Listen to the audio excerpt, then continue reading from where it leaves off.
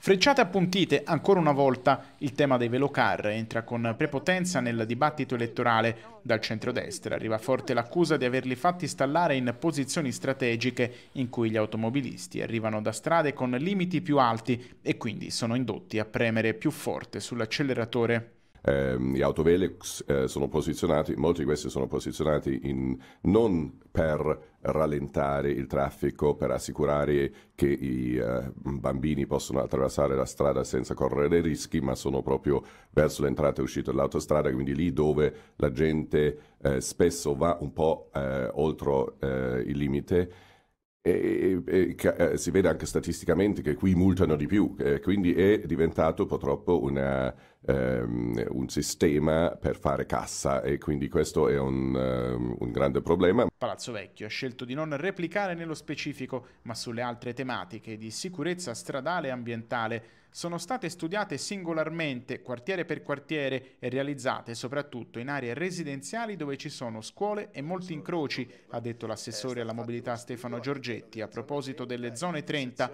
mentre sullo scudo verde ha ribadito che ad ora la ZTL sta solo facendo monitoraggio. Anche la candidata del centro-sinistra Sara Funaro ha preferito rispondere sul tema tranvia Schmidt che ha proposto di farla passare 30-40 metri sottoterra per non impattare sulla superficie. Bisogna parlare e proporre cose che sono concrete e realizzabili.